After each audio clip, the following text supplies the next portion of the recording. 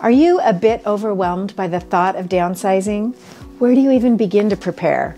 Lots of sellers find that while their nest might be empty now with fewer people in their household, their home is still full of belongings and memories that make it difficult to know where to start.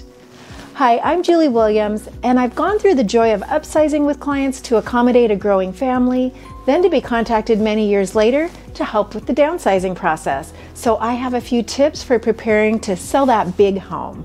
First, remove items from your home that you'll be getting rid of anyway, and pack up things that you won't need before you arrive at your new place. Generally, this will be 50 to 75% of belongings for those who've lived in their home many years. You may need help with this step and can hire a professional organizer to guide you through this process. Second, visit a new construction model home and notice the finishes and style. This is what is currently popular.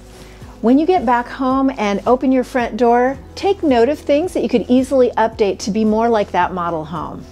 Could you replace your entryway light with something more current? Do you see a rainbow of colors on your walls? If so, it may be time to paint with one light neutral color throughout. Do you have fancy valances on every window that might make your home feel dated? What does your hardware look like? Could it be switched out for something more modern like black knobs and handles? You should see a great return on investment with these simple updates if you don't overspend. If you can afford to hire helpers, a handyman to help with your home refresh, and movers to pack and move you will help lower your stress level during this process. As your agent, I can also coordinate many phases of this transition for you and have a long list of trusted providers to assist. Finally, allow plenty of time for this process. Downsizing can be an emotional journey as you pull up roots. You'll want to reminisce and take photos of cherished belongings that you're going to let go of and ensure that family members receive items that you've promised to them. And you'll want to have your new place dialed in and ready so that you're sure to be excited for your next chapter.